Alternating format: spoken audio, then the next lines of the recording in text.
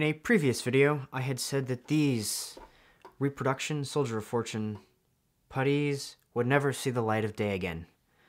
Well, it would appear that I have lied.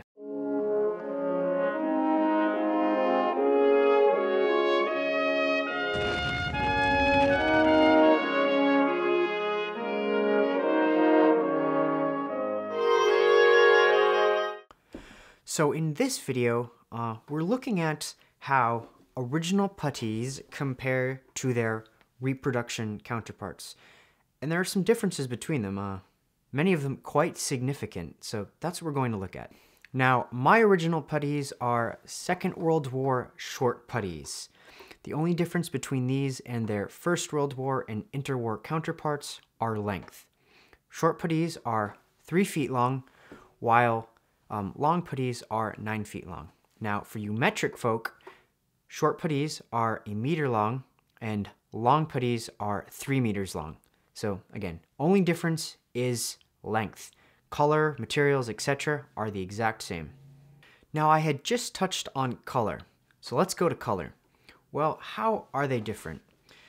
The reproduction puttees that I happen to have are Soldier of Fortune ones, so their color is of course different than some of the other manufacturers. But in this case, they are so much more brown. They are they're almost like a butternut color or something like that. I don't know what exactly you would call it, but it is not the greatest. Now, I think color seems to be very hard to replicate in um, reproduction puttees is because original puttees are, were actually made with a combination of different colors of wool. So they would have all the different colors of wool and then they would spin them together into one yarn. So you get this very dynamic color in them.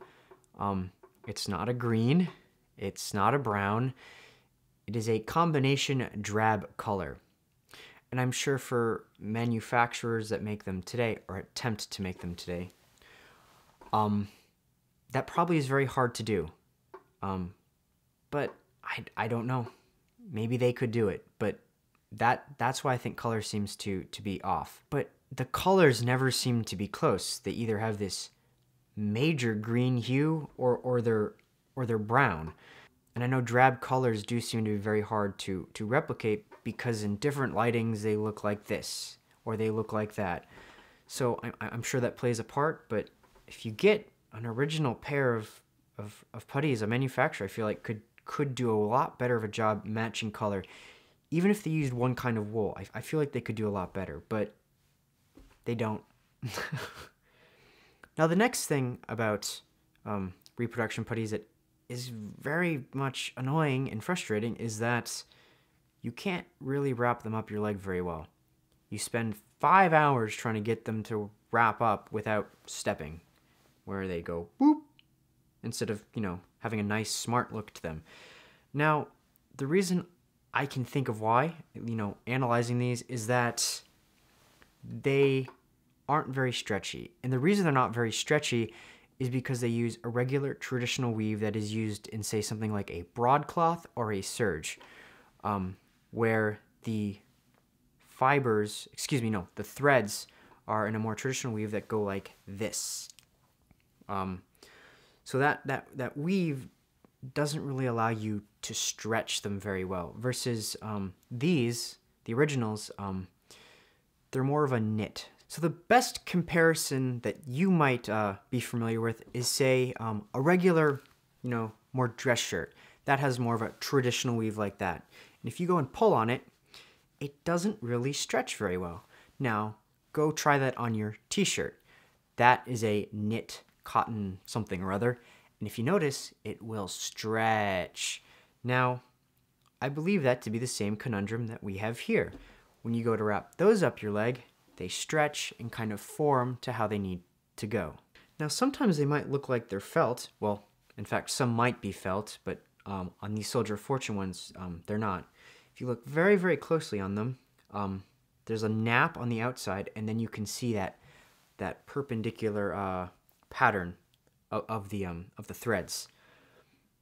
Now, I'm sure this could also be confused with uh, for a felt, um, but lots of uh, serges and broadcloths actually have this snap on the outside just due to their production process, and it gives that uh, nice kind of smooth look uh, to the fabric. And then that gets us to the other point about them, is these are knit uh, to be this this this uh this width. Now, these aren't. These are cut on the edge. So they're one giant strip of fabric that is then cut. So you can tell here they're just taking probably some X long piece of of serge and they're just cutting it down and selling it as puttees. But you can't interchange some serge fabric for some knit stretchy piece of fabric because they just will not wrap correctly. There's there's no way that's going to work. Now you can get these to hug legs decently enough, but it takes a lot of time and you're kind of trying to pull them or twisting them and doing things like that. Whereas if they were just the proper knit, there'd be no problems whatsoever. Now, there is a great market for for puttees because originals are very hard to come by and they get scarcer every year. But I imagine this is the cheapest option, but I think people would be willing to pay more if they were more dedicated, you know, actual made proper two period standards. So then, to use them for reenacting, you're kind of left with a predicament. Well, these, you know, for light use, it's it's really not a problem because, you know, they're durable, you know, pieces of kit. The problem comes though when you're in a more strenuous situation where there's ditches and barbed wire and things of that nature because these will get trashed. There is no doubt about it.